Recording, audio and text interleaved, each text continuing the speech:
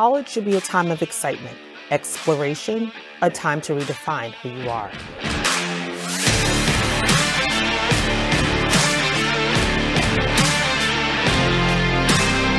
For some students, they may be the first in their family to attend college, trying to not only better their own lives, but the lives of their families too.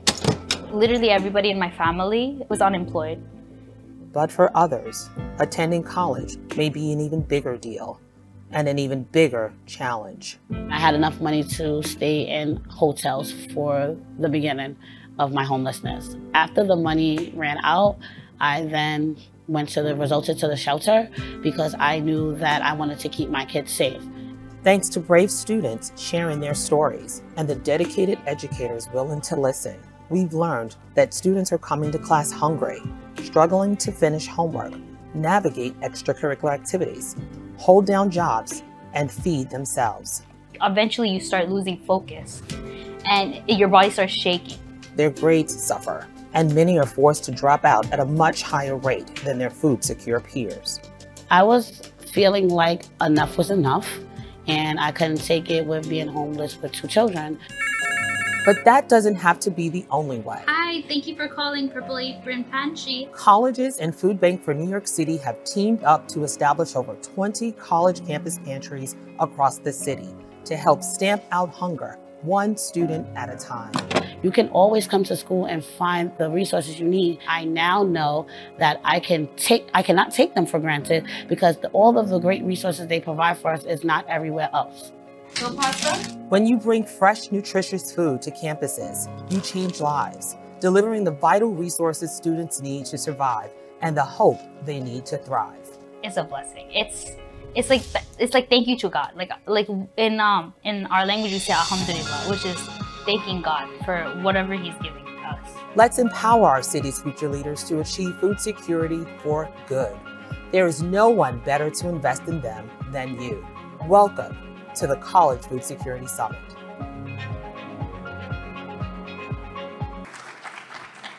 So we're going to bring on our keynote speaker. A um, few lines we're going to read about him. When we thought about our keynote speaker, we wanted a person who not only talks the talk, but also walks the walk. We wanted an educator and knows, and knows what you are going through because he literally has been in your shoes. He's going to talk about his own personal experience with food insecurity and how his profession empowered high school students to ensure they had the critical resources they need to succeed. Well, that reminds us of us, uh, here at Medgar College family in CUNY. He currently is a principal at Westside High School. Help me to welcome Principal Akbar Cook, a brother from another mother. We're doing the same work. good. As the gentleman said, I'm Principal Akbar Cook. First, I want to give the Food Bank of New York thank you. Medgar Evers College, thank you as well for having me. Uh, principal, Newark, New Jersey, right across the water. Humble beginnings. My grandmother always was a caretaker to the less fortunate. Even though she had a lot of grandkids, she found a way to go adopt some more babies. So that's why I feel like it's in my DNA. My education background came from my auntie. We all have an auntie. My auntie was Carolyn Cook. Auntie got me to work at a camp called Life Camp. And at this camp, it's like I became the kid whisperer. Like I knew what the babies were saying, I could figure them out. So while I'm at this camp, I end up going to a junior college in Kentucky, rural Kentucky. I don't know you guys been to Kentucky, but I'm not talking about Louisville, Lexington. I was in between tobacco fields, and it was two buildings. This is when I learned that food security was real. So we had two buildings, as I said, but we had to eat when the nuns or the sisters ate. So you literally had to get up in the morning at eight. You maybe got around lunchtime at 12, and then you guys had to eat like around five o'clock. So now as a Division One athlete, that's kind of hard. So I'm just like I'm missing, I'm missing meals and all of that, and I'm starving. So I called my auntie. I said, Auntie, I need some money. Auntie said, Boy, don't you ever call me without asking how I'm doing, how I'm feeling, how everything is going. So from then on, I always called Auntie a week before I needed some money so I could get the stuff, right? I finished out in the junior college. You know, we, and I ended up going to Florida Atlantic uh, University, Final Four. This, they just did the Final Four just now uh, went down to Florida Atlantic, and now I'm on a bigger campus. I'm in Boca Raton, guys. It is beautiful. You thinking now I'm gonna have all these different restaurants? No, it was not the case. So same thing goes, and now you're on a larger campus. So when we think about our kids in college and them eating, it's, it's kind of hard if you're doing like you know 6 a.m.s and then you got the lunch and then you sleep and you got night classes. So I realized it was real right then and there. But and another thing that came to uh, came to fruition was a lot of us don't know about financial. Uh, I want to say, I said my financial security. I'm sorry, it, it's escaping me right now, but we don't have that financial literacy background. So when I got to the Division One college, they give you a meal plan. They say, "Here, cook. Here goes 2,500. You have to figure out how to eat with that for the entire semester." Now, I'm a baby right out the hood. I went right and took that money, went to the mall, got me some shoes, I got some more other stuff. So, so that, you not supposed to give me some money. So it took me a while to figure it out. I want to say by my junior, senior year, I started going to Costco and maybe putting some stuff under my bed in my room so my roommates wouldn't eat it. But I ended up graduating, guys, and I became a teacher. And while I was a teacher, some of the some of the things changed. Like you always know, you guys been in school. We always get to the babies through food. Like, oh, I got my principal coming. Yeah, I'll be good. I'm gonna give you a pizza party. So you know how we did it, right? And you guys would do all your good, I mean, good stuff like that. But until I became a vice principal is when I realized the needs were stronger. I became a vice principal in, at Newark Vocational, and we, after four or five years, it was going smooth. And then, just like some districts do, they said, "Cook, we're to close your school." And I'm like, why? We got the best enrollment. I got all the good stuff going on for the kids. They say, well, there's a school up the street called West Side High School, and it's the worst school in the state of New Jersey. It's riddled with gangs, it's violence. They just slapped the principal. So we think you guys would be a good fit up there. And at the time, I'm like, that doesn't make any sense. So we end up going to this school, and I want to say the first week, guys, uh, one of my baby girls was missing. First time ever, I, I told you, I was coming from, you know, middle school babies all the way up to high school and the baby was missing. I want to say around two weeks, they found her body in an abandoned building. My first bout with death.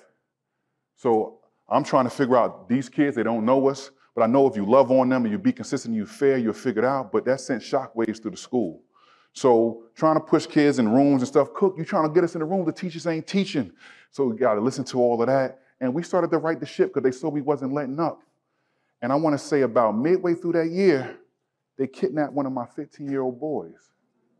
I know this stuff is sounding like a movie. It was like a movie that I was living to me. And at that, that 15 year old boy, he was supposedly the plug for all of the good drugs in the area. When he didn't give up his plug, his connect, they killed this young man and threw his body in the neighborhood. That was two babies, y'all, my first year at the school.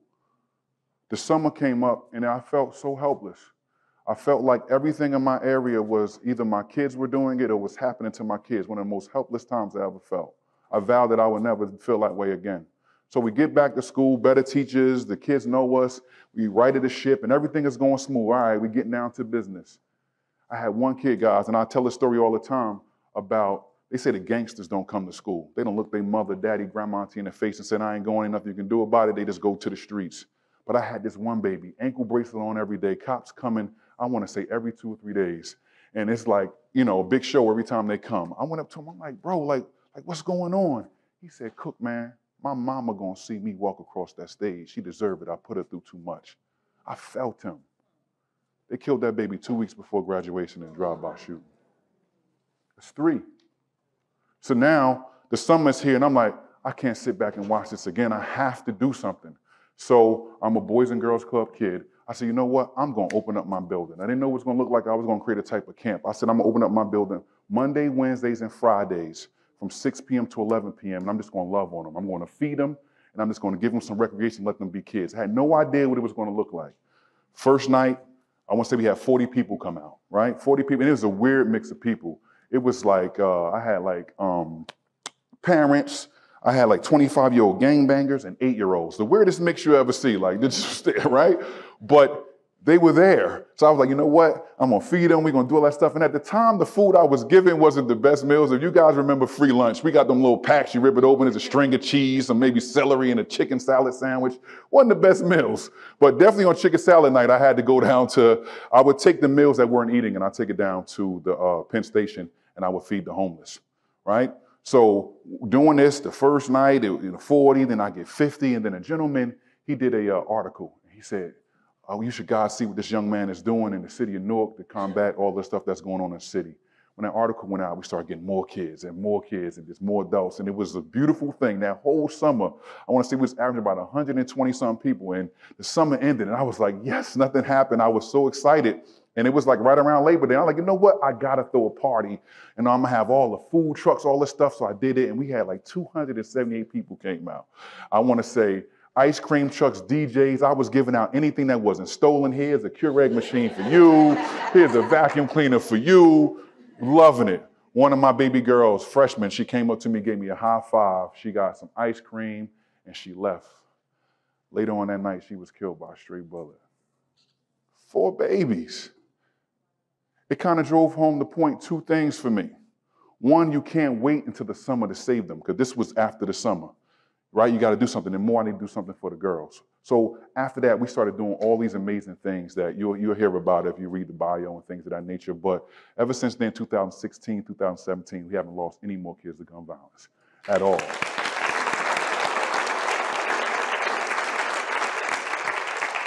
So now the baby's safe, right? That's because I said some stuff got to take a back seat. We're talking about food security, but if your babies are not safe, you got to figure something out, right? So now came the next thing. The kids said, Cook, we're not eating. I'm like, okay. And this is my first time hearing the word parentified. Like a lot of my babies are taking care of their younger siblings. Their parents are either not there or they work in so many odd jobs, they leave it up to them to do that. So by the time they take their kids to school and they get to us, it's so many late they don't miss breakfast. I said, that's easy. I got that. I don't care if it's a Pop Tart at the door waiting on you. You're going to eat something. I'm going to make sure you're good. Right? Did that. My school is 100% free and reduced lunch, so that means they eat lunch, right? But I want you guys to think about lunch. Like we all go to restaurants and we go out to different places, and there's always some salt and pepper at the table. It might be some hot sauce. Why little kids just got to get whatever that cafeteria person slop on a tray and they got to eat it. So I'm like, you know what? I can fix that. My baby's not eating. I get some hot sauce or some adobo, soy sauce. You know, I'm gonna do all of that for the babies. Just make sure they're good. So now they're eating cool. But I said, cook, we don't eat on weekends. All right. Okay. So I, I got one my community food bank in New Jersey and I said, listen, do y'all got something for me? They said, well, Cook, we have a family pack uh, program where the parents sign up and it'd be enough food for a family of four. I'm like, cool. I got all my parents to sign up and do all of this great stuff. And then came that first day. I called the babies downstairs. Kids came downstairs, we gave them those packs. As soon as they get outside, oh, you the kid with the free food. Ah. And I'm like, your mother called me too. Why are you making fun of him? Like, you need it as well right? So I'm like, I don't know why you're doing that, but it's, it's, it's a cultural thing where we try to make fun of things of that nature. So I'm like, okay. So I changed the name. The attendance all stars come downstairs. Oh, you still that kid that need the food. So then I used some of the uh, backpacks that we can give out for the backpack giveaway, trying to hide it. I went to the mall, Aeropostale, you know, Gap bags, trying to hide it. Again, it was just a band-aid. We wasn't getting to the root of the, you know, the, the problem, which is we got to change the mindset of these kids. So I was like, what can I do? What can I do? Well, I, as you can see, I like to eat. I'm a food and network guy, right? I'm a food network. So I was like, you know what? They got a show called Chopped. I'm going to get me a YouTube channel. I'm going to do Westside Chopped. I'm going to show the babies what to do with these amazing ingredients. If you don't watch Chopped, they take a mystery ingredients and they got to cook a meal, right? So cool. The first episode, I, I, had to cancel it after two. I didn't have the funding, but you get it what I'm saying, right? So, but after the first, eh, well, on the first episode, I'm gonna give you guys the mystery ingredients. I know some of you guys are like, you can cook. They had in the family pack, they had tuna fish, they had ragu, mixed vegetables, and Cheerios. And not even the honey nut Cheerios, regular plain Cheerios. So I'm like, I don't know what they're gonna do with this basket. So we're gonna see. One person crunched up the uh, the Cheerios, made into breadcrumbs, and binding agent put some eggs with the tuna fish, made them little crab tuna fish cake. Bam, threw some ragu on top, mixed vegetables, bam. I say, look at God, right? Oh, what? My babies took to it like it was no other. So they like, oh, I'm gonna show you what I'm gonna do with my basket now. So now we took something that was you know, the food insecurity and it's something pride related, and we changed it to something positive. So now, not only do my kids get, I want to say, uh, we call it acts of kindness, they get certificates and stuff, but they also taking care of our neighbors with our homes. They're taking care of other families. So now we made it a thing. So that was another thing, right? That was solved, right? Cool. I'm thinking I'm cool with the food. Then it becomes, but cook, your kids are not coming to school. I'm like, what do you mean? They said 85% of your children are staying home four to five days a month. You guys know when we grew up, you missed 19 days, you stayed back. That was it. It's not the case now. So I'm like starting to get into the root of it, and you know, come to find out they were talking about the uniforms. Now I'm not a big uniform guy. I kind of flip flop from time to time. But when you think about uniforms, guys, they uh, give the kids say khakis. Khakis get dirty just looking at them. Right on the hanger. The khakis dirty right now. You didn't even put it on. And I'm gonna put this on a five-year-old, let him ride around on the floor. Like it just doesn't make sense. So I was like, you know what? I got something. I'm gonna change the colors right? I'm gonna change the colors. I put on black khakis, you know, heather gray, change the different color the shirts. Still wasn't getting the numbers that I expect. I'm like, but what's going on? They're like, cook, we can't clean our clothes. I'm like, all right, okay, I got something for that. So at the time, I was meeting with my alumni. My alumni have some, some great people on the board with them. And one of them was our local uh, uh, energy company. You guys have Con Edison, we have PSE&G. So PSE&G was there. I said, okay, hey guys, listen, I want to get some washers and dryers, and I'm just going to put it in my school. Can you guys help me out? They said, Cook, write us a grant, and we will give you some money. Cool, right? I wrote the worst grant in history. It said, I need washers and dryers, period. That was it. Send. They gave me $20,000, guys. Yeah, baby, right? I get the 20,000, I come back to my district like, oh, we about to cash out. Send me to Lowe's, Home Depot. I'm about to get all of the best of the best. They're like, okay, Cook, we're going to send over our, you know, our architects and all that other stuff. This should come back and say, Cook, it's going to cost you $300,000 to put this laundry room in your school. Come on. I know the price in New York is crazy, guys, but 300,000, I'll give you something nice right here in Brooklyn right? I said, okay, but now it's getting bad, guys, because now my babies are being uh, bullied. They're fighting because of the bullying and things of that nature. So I'm like, guys, listen, we got to figure this out. So my district said, Cook, you know it's all about venting out. If you can find a place that vents out so we can send the dryer out, we got you. So, you know, just like in this college and other schools across the nation, we usually is one, one wash and dryer, either for the linens, for the football team. Mine was for the football team, right? immediately kicked them out the locker room, going. It was 2017. I haven't won a football game since, I think, too. So, but I kicked my football guys out, right? Kicked them out. Bam! I think we got it. So I got them out. They got the, it was it was it was uh, venting out. So now uh, they came and they put the wash and dryers in. Then it became, but who's uh, paying for the water bill? Who paying for the electricity? So now I just become the principal. I was the vice principal all of that time, guys, and I just become the principal. And I'm like, what are we going to do? Right? Because now they hooked up, but no one's going to, we can't use them. So I was doing a tour of my Lights On program. Other, other principals come by and they want to see what we're doing so they can emulate what we're doing. So someone took a picture of me in front of the wash and dry. I said, oh my God. And they said those magical words. Principal combats bullying, attendance, and all these good things for the babies, right? Went viral. Every news channel called me. I want to say every channel, two, three. I was on Telemundo, everything everything called, right? I called my superintendent. I said, guess what, man? On Monday, I'm gonna be on TV, right? You gonna be on TV as well because you ain't hook up these washers and dryers. What you say? they was hooked up in an hour, right? Done. Right? So again, I'm on TV that morning and all day, and I'm gonna do like you. I'm gonna film myself, I'm gonna put it on Facebook. And at the time, it wasn't reels yet. It was still 59 seconds on Instagram. And I was like, you know, Cook, should I put it on there? It's only 59 seconds. I said, well, they'll get the gist of it. Luckily, I did that because that clip I put on Instagram made its way all the way to Burbank, California. And that's when I got the call from my friend Ellen, right? So Ellen DeGeneres called. And guys, listen, I thought that this would be an amazing thing, right? I thought that we would, uh, me and some other educators, right, we would be on the cover of Time saying, look what these people are doing to fight, you know, attendance, food insecurity, all that good stuff. Not the Ellen show, right? I, but they called. So when I get there, y'all got to tell me my time. I'm just talking. I don't know where I'm at right now, but all right, because I ain't got that much. But um, so I get to Burbank, and it's Ellen's like the the Wizard of Oz. You don't see her at all. She just like somewhere over there, right? So I'm there, and the producers take me in the back and they say, all right, let's go over some questions. I'm like, cool.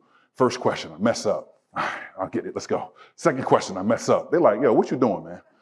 I said, I'm nervous, man. He says 50 million people watching, man. You, you can't be messing up. I'm like, if you was coaching me, you doing a bad job because I'm even more nervous now, right? So we go through that. One of the questions was that Cook, please don't mention the babies passing away. It was like, you know, Ellen crowds, they may not be able to take it. I said, cool, got it. Asked me another question, cool. And it's like, but now, lastly, like sometimes Ellen's like the freestyle. So just be prepared. Cool. All right. Now I'm ready, guys, right? Now they take me out the room, you hear them now. you hear the crowd, I'm like, oh my God, right?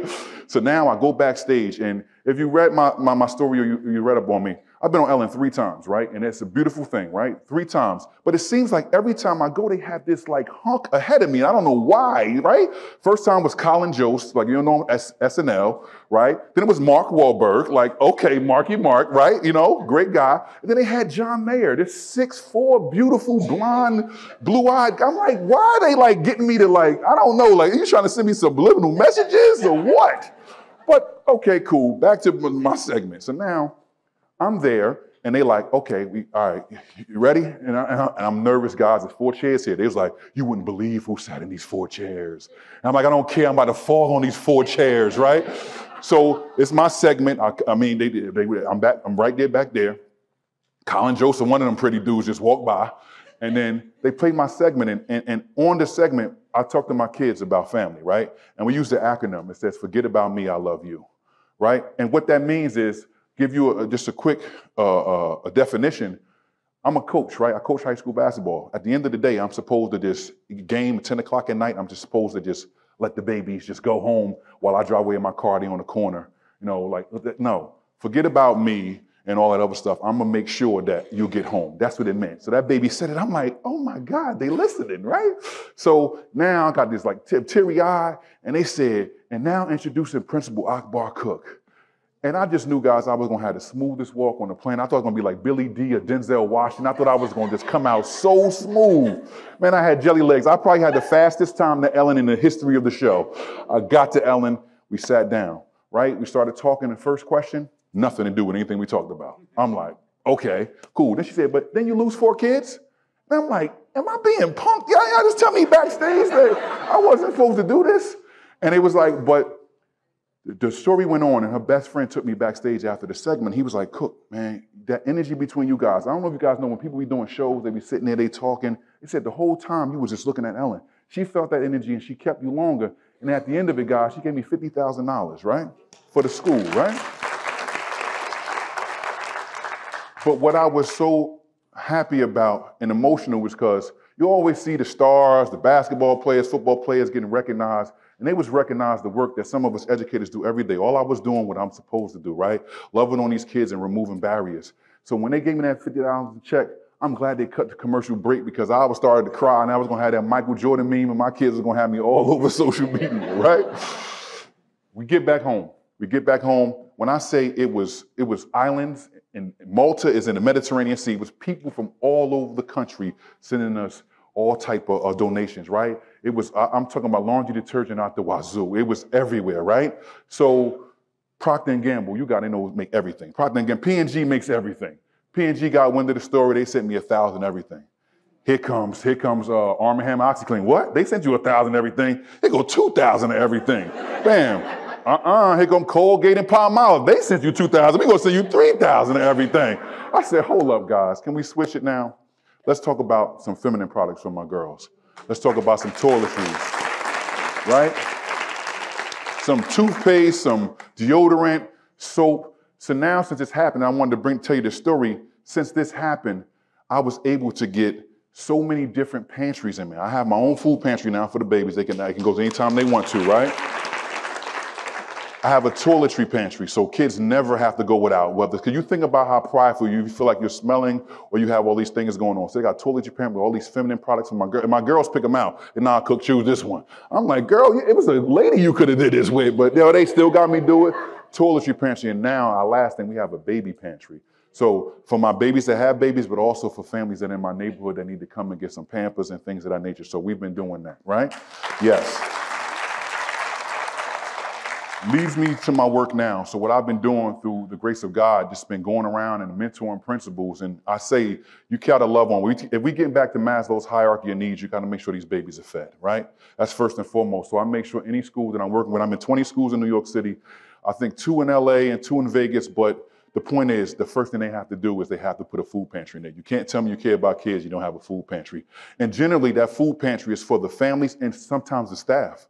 My staff get some of my food. You think teachers are doing good, they're struggling as well. So I make sure they have a food pantry, but I also try to say at least once or two times a year, you do a community giveaway. What I mean by community giveaway, you set up outside and anybody walking by can get some of the items that you have.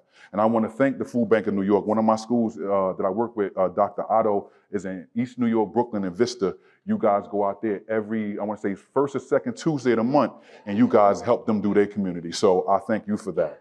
But that's that's what I'm doing now, guys. And I always want you don't don't forget about those high school kids, right? Or the college babies. They think that once you sent them on, they're good. They're not.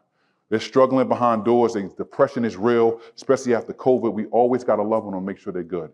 Leave you with one thing. My uh, grandma always told me this African proverb. It says, "A candle doesn't lose its flame by lighting other candles." Keep lighting candles. Thank you, guys. as a principal at Westside High School, what is the level of food insecurity um, that your students face? So, not only are my kids prideful and don't want to be the one that's taking, so we had to break down that that that uh fixed mindset. Um, also, we don't have access to the fresh produce and things of that nature, right? We in a food desert, they call it. So I didn't get to speak about it earlier, but the money I got from Ellen, we did our own urban farm. Like I have my own chickens, I got my own bees, the honey, we got our own hot sauce that we sell. So I am trying to show them one, I'm sorry, how to monetize what ails them. So if it's fresh produce, let's go to farmers markets and let's take what we got here when we do it. So that's how I've been trying to break down the barriers, but also showing them that it is cool to be, you know, giving back to the community as well what realities must some face when speaking about food insecurities, especially like with the younger? We have to. It's a cultural thing. Like we grew up hiking or doing the dozens of things of that nature. It's not cool, and bullying is is real right now, and mental health is real. So you have to show them why, but you got to show them the end of the end of the rainbow too. Like because I'm still not going to want to take this package home. But if you tell everybody that I'm helping somebody else out, maybe I can start building that, you know, that that pride and that trust that I don't feel like you'll be making uh, make, making uh, uh, fun of me. But also, it takes our our new folks coming in. My, my, my first generation kids, they don't care about none of that. They come and give me that. What they they taking everything. So they're leading the pack. They're the trailblazers. So shout out to all my first generation, all my kids coming over to the city. How can we make students in the community feel more comfortable with asking for help? That's a that's a heavy that's a heavy lift. I just think you just got to show them that you would you would do anything for them. I, I, tell teachers the best teachers have the best relationship with kids, and it starts with you being vulnerable. You got to talk about like I want to be. I talked about some of the things that was going on with me that you know people may not be able to see. You got to be vulnerable, and only then they will be vulnerable with you and they can start asking. So that's just like with anything. So I tell teachers the best teachers have the best relationship with kids. If you open up to them, they open up to you. So that's what I would say. What do you expect for people to take away from this summit today? And there was a lot of um, younger college students in the audience. So, what do you expect for them to take away? I'm hoping that they saw a little bit of me in them, and uh, hope they would be vulnerable. And and closed mouths don't get fed. So, I would hope that they start speaking up for themselves. I mean, we always want our kids to be advocates. So I'm hoping that they, they gain that today from me talking. It's going to be advocates for themselves. And they're going to, like I said at the end, I said, uh, candle doesn't lose flame by lighting other candles. Hopefully they'll light some other candles. keep them candles lit, y'all. We know the makeup of our students, that they come from mostly immigrant, if not first generation themselves, college students, and people who are working multiple jobs to get their way through. And we started to hear from our students that they needed help. They needed more support, and they thought that a food pantry could do that. Hi, thank you for calling Purple Apron Pantry. It was like a relief. It's like knowing that there's food that we can use and like going out to buy the same food item is gonna cost like so much money. Students were like, I have $200 to make it through the week. But they have to pay for a Metro card, they have to pay their credit card bill, their phone bill. It was overwhelming. It was an overwhelming feeling, not knowing what you're gonna eat next, not knowing if you can eat, like going to sleep hungry. It's just weight, it's just stress. If you want your students to succeed, they cannot be taking you know, classes that are super complicated and then having to leave class and think, can I buy a bag of chips and will that time me over until nine o'clock and then I'll just go to sleep hungry. That is unacceptable. Having the food bank when I needed it, it feels like I feel grateful To the people who are donating, I just want to say thank you for donating. I worked to get my bachelor's. I got my bachelor's. And now I'm ready to, for the next stop, which is to get like a full-time job. These students are here because they want it, because they need it, because they're trying to make a generational difference in their families. And you're helping them by providing them this food. And then this is what is gonna make the next generation stronger. And um, thank you very much. It's a pleasure for me to present this distinguished panel of managers and students um, to share with you their experiences and their perspectives on food uh, security. So we're going to jump right into it. And I'm actually going to start with the students so that we can hear their perspective and their experiences. And so to Taylor and to Camaya, say that right? Yeah. Uh, thank you for being with us today and willing to share. I know Taylor is missing some of her clinical work. So can we just give them a round of applause being here with us and being willing to share their experiences. So can you tell us, um, please share your ways um, that the institution um, helped you to overcome challenges with food security? What has the institution done that you attend? Taylor, you can start. Um, hi, everybody. Um, good morning. Um, I'm a single mom. Um, and I was facing, well, I thought some challenges. Sometimes you kind of, in the midst of the stress, forget what's in front of you. And I came to school as an intern and was like, oh, hold on, you got you got food here at the school. There's no need to worry about anything. Honestly, as a student at Medgar Evers, um, we have the opportunity to go shopping once a week, every week, as long as we're um, you know registered for the semester. So I just told myself that I was gonna shop at the school after I went from classes, and I was gonna take whatever I had, and I made it work. And honestly, it was a very rough time, but I learned to. Um, use my resources on campus and I shared the information with my other classmates and my other students because this was my first time facing food insecurity issues. Um, I'd had problems with my mom being a young girl, so I knew what it was to be embarrassed, um, to be ashamed, to ask for help, and I'm, I'm, very emotional because it was a it was a time in my life when the word speaks for itself. You're transitioning, you know, through higher education.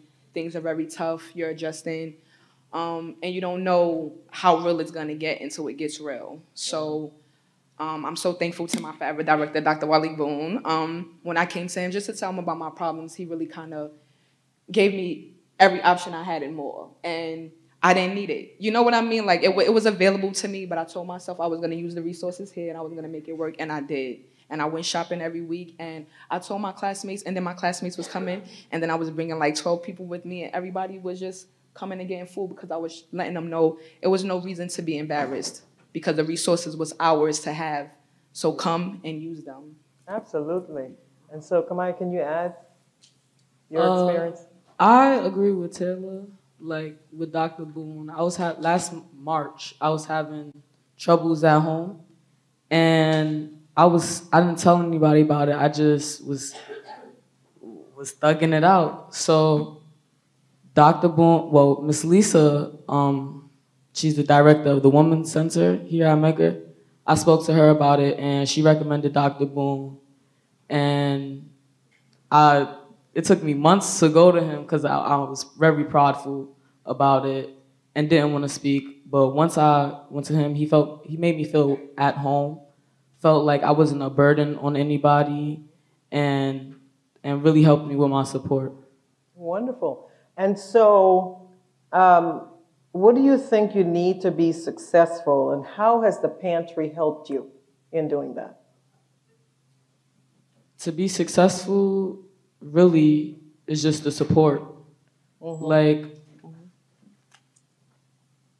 not having not having support is you start to think bad thoughts like I'm gonna drop out. Um, I'm not good for this. I need to get a job. I don't have time for school. So with that support, it helps. It really does help. Wonderful. Taylor? To add on to um, what Camaya was saying, I could definitely say support is it. It gets very tough when you're focusing or worrying about where you're going to get food or where you're going to sleep. So just to know that we didn't have to worry about that as students um, on campus, it was very helpful to us. Um, I, I didn't have to worry. I was focused on my assignments. I was getting them in in time, and overall, just to share the information about about the pantry because a lot of students don't know sometimes. Not saying that it's the information is not here, but a lot of times we are caught up in our own lives. So. Yeah. Just sharing the information was my support. Also, you know what I mean to my classmates. Yeah. And, you know, to that point, um, Taylor, um, how big of an issue do you think food insecurity is or food access to other students is? Oh, it's a big issue. Um, just as um, I'm sorry, the gentleman um, Nick Fer- Fer- Ferguson, if I'm saying it right, um, Uh-huh. Dr. yeah, when he was saying about the, the numbers and how it increased over the pandemic, um, I definitely can say a lot of things happen behind doors, you know, and even though we are in a space where we do have conversations about it, people are still embarrassed. Um, Right.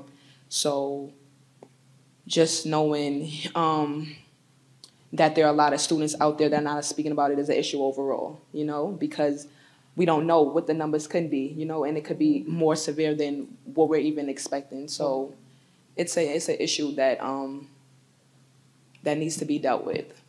And Camaya, have you experienced many of your fellow students who are experiencing food in, food insecurity, and have you informed them about uh, pantries?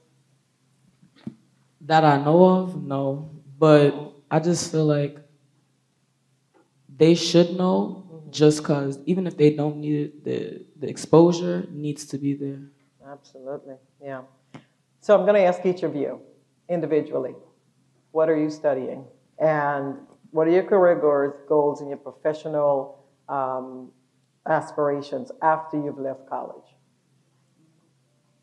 Taylor? Um, so I'm a social work intern right now. I am at Hunter's um, Silverman School of Social Work in my graduate program. Um, my goals are to graduate, Yeah. class 2024. Mhm. Um, I hope to um, I hope to pass my, my board exam, and um, my professional aspirations will be to open a nonprofit in my, my neighborhood right now, which is Sheepshead Bay. Um, but also, anywhere social services is at is really something I want to do for the rest of my life. Wonderful. Great career. Great career. And how about you, uh, Camille? Well, I'm a sophomore here at Medgar, and I'm majoring in public administration. And I want to, with that, made well, with that degree, I want to become. I want to run for city council. Nice. Very good.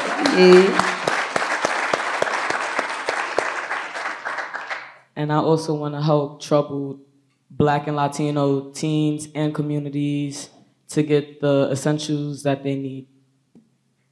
That's a wonderful aspiration. Very, very good.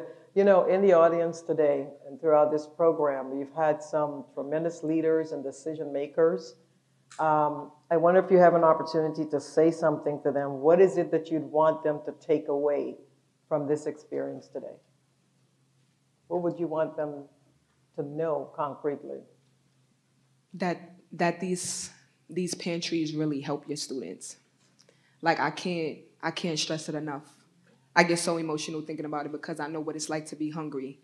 And just to stop that hunger, you have no idea. You know what I mean? Like the, the burdens that you take off our backs when you do those kind of things. And I just commend everybody who's continuing to make sure that the students at CUNY and all over New York City are continuing to get, you know, the resources that we need to succeed through higher education because it is true that when we are worried about where we're going to sleep and where we're going to eat, we don't want to come to school.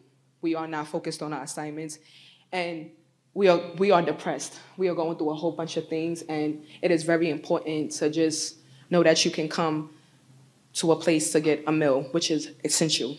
Absolutely. Thank you. Yep. How about you? What I hope everyone leaves here with is just the exposure. Like I said earlier, just knowing about the program helps everybody and others. Thank you. Uh, and so we've come to the final session of um, with our students, and I'm wondering if you have any last minute thoughts, any last minute words that you'd like to give to your fellow peers, your students who might be in our audience, um, about the resources and about the ways that they may be able to get assistance on the campus? I just want to say, ask for help. That's the least that you can do. Mhm. The the worst anybody could say is no. So yeah. And to add on to that, um, as well as ask for help, to not be embarrassed. Um, sometimes it's important to be the first person to make the move. You'll be surprised that when you say something, 20 more people come behind you. You know what I mean? And tell you that they got a problem too. So I'm that kind of person. I'm, I'm into sharing. When I enter the room, I, I make it my room. You know, I want everybody to know that I'm on one accord and we're all together. So um, continue to make communities, you guys. You know, um, as students on campus, be open minded to everybody is not going through the same thing that you're going through, but they possibly can be, you know? So just share some things sometimes. And if you know any information, share it as well. That's right. Thank you so very much. Appreciate you being here.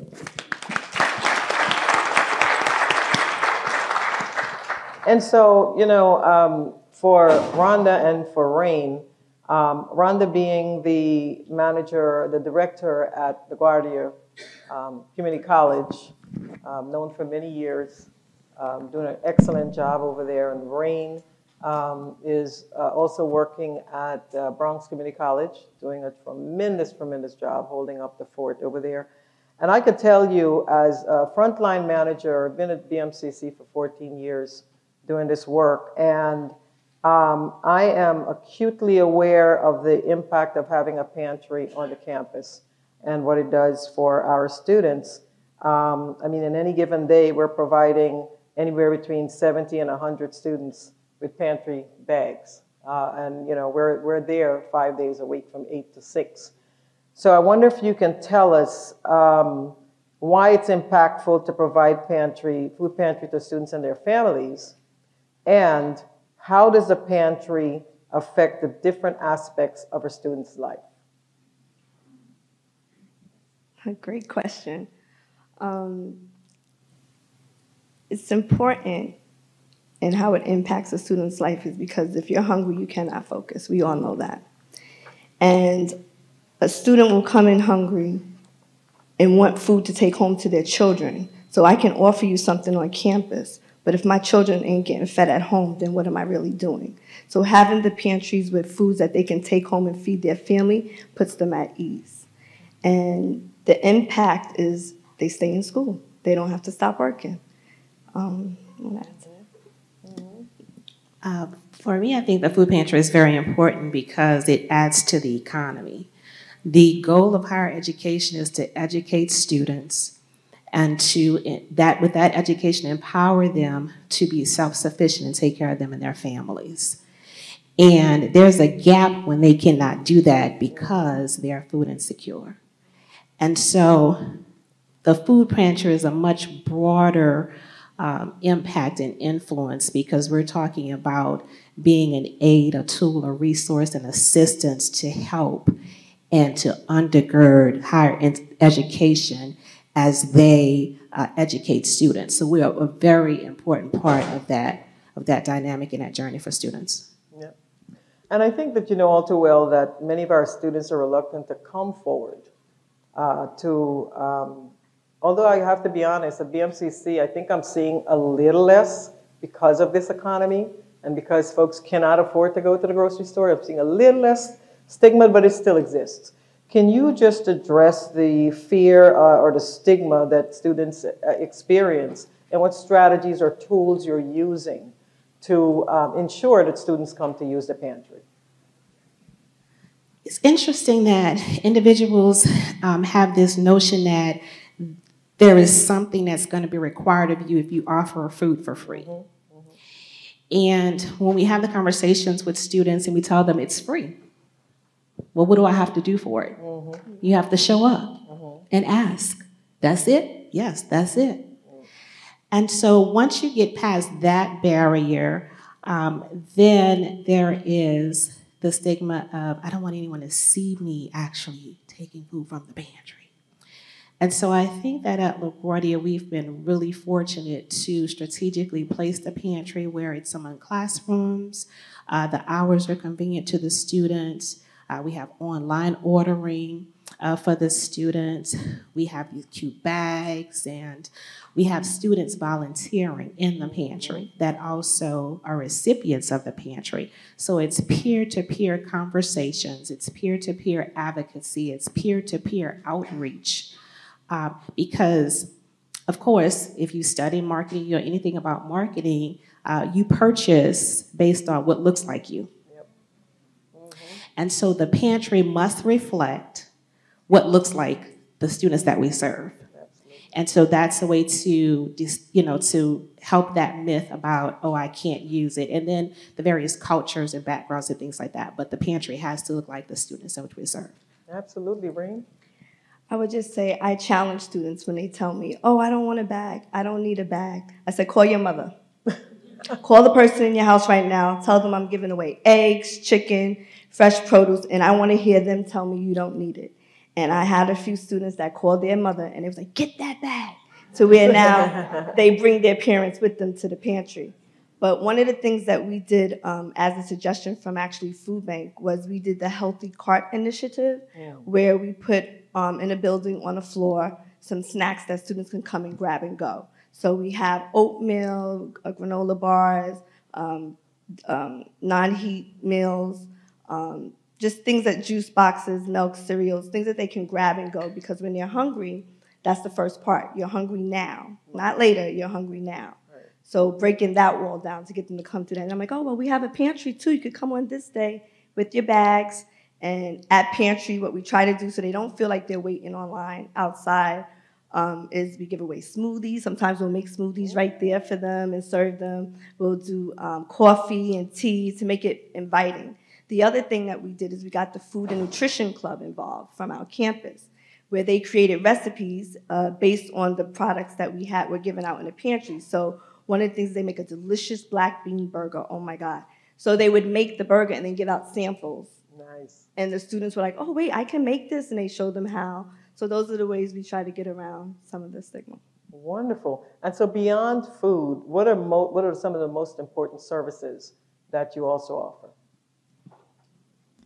I would say our legal services um, with housing insecurities, which Mhm. was spoken about earlier, um, and financial literacy, um, and SNAP registry, registering students for SNAP are some of the other services. Um, at BCC, we try to do a holistic approach, um, so that we're not just battling one concern, we're battling all your concerns at once, so that you can focus and, re- and retain your education path. And I know, you know, it's interesting because it, the- same at uh, BMCC, and we heard it earlier, that it's not a one-off in terms of the needs of our students. It's many, many services that the students come to us needing. I mean, my, um, my resident manager is here. Some of you may know that we have housing, BMCC has housing uh, for 40 of our students uh, housing who are housing insecure. So it's that, it's the emergency grants that thanks to Petrie, Food Bank for New York, all of these organizations that just are so supportive of the work that we do. Rhonda, what are the other things that you're doing?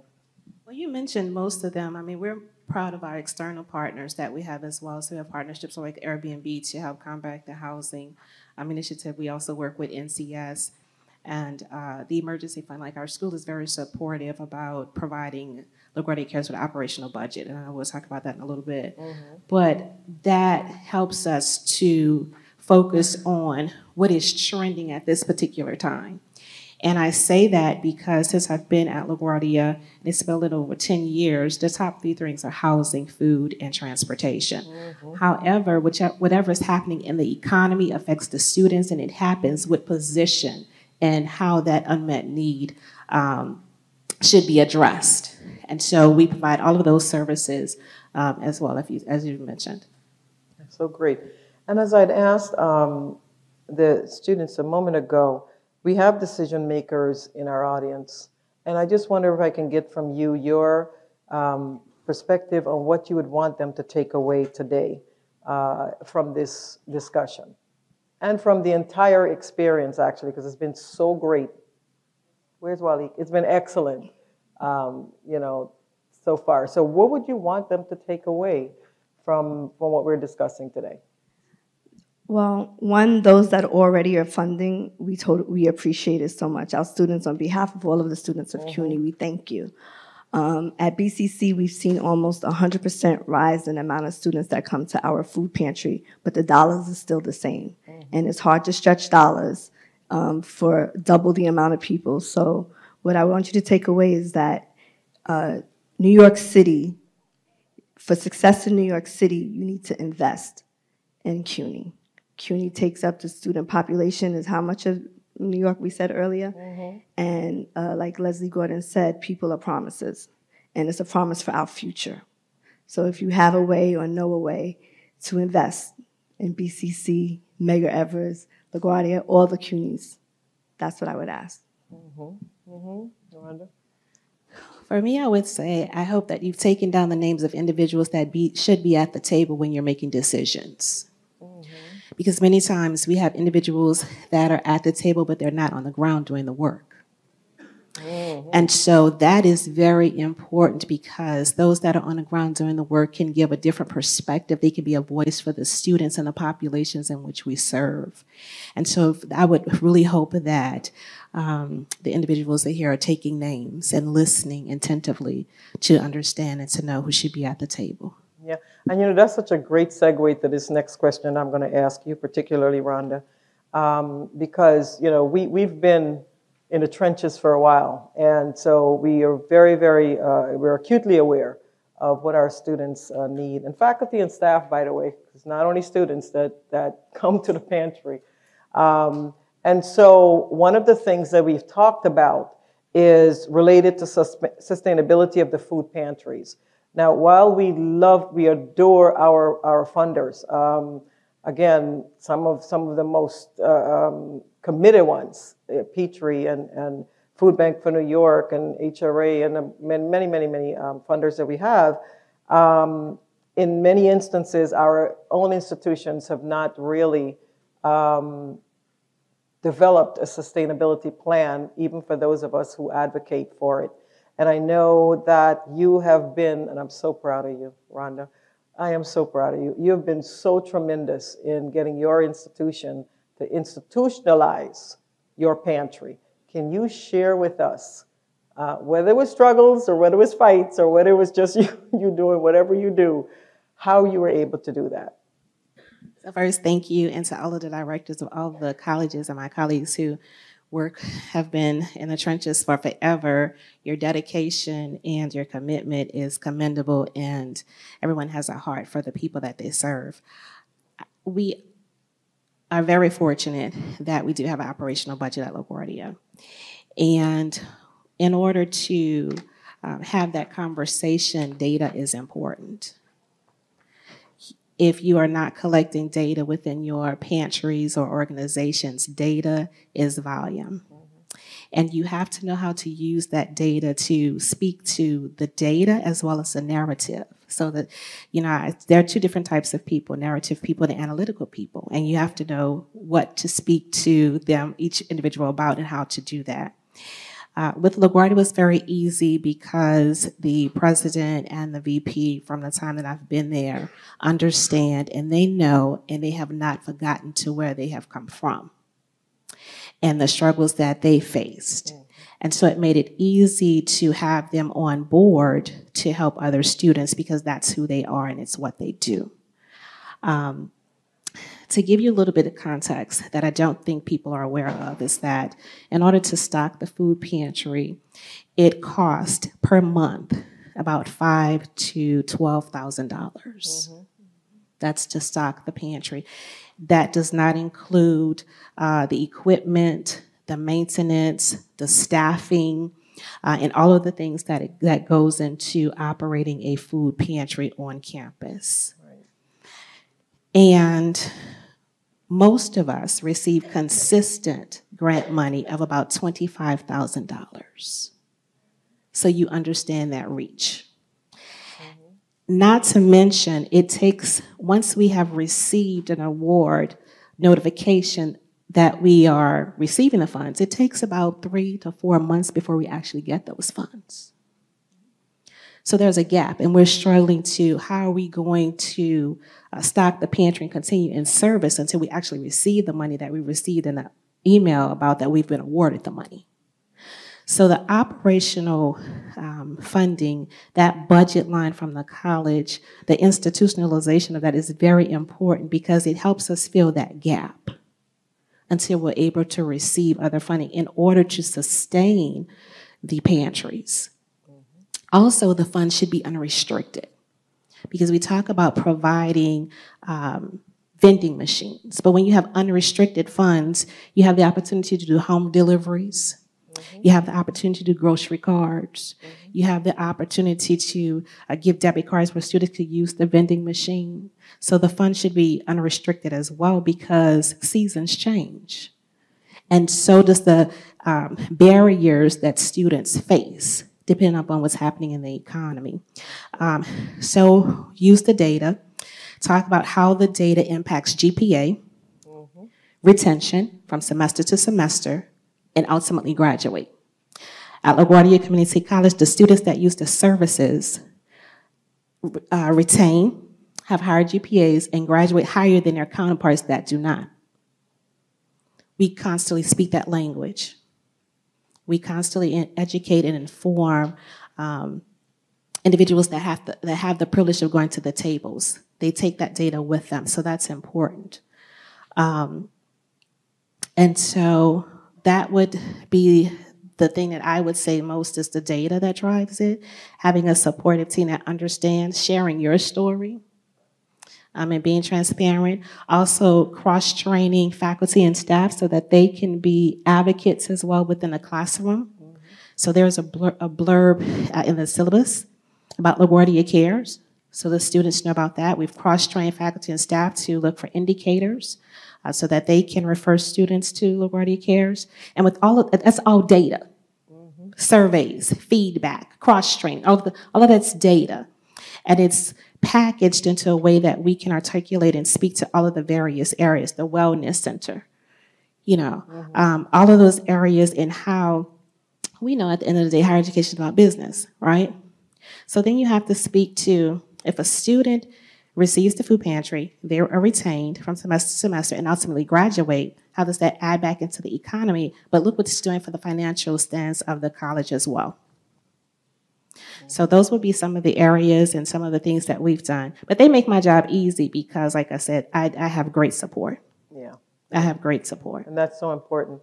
Listen, um, two seconds. Any final thoughts before we wrap up?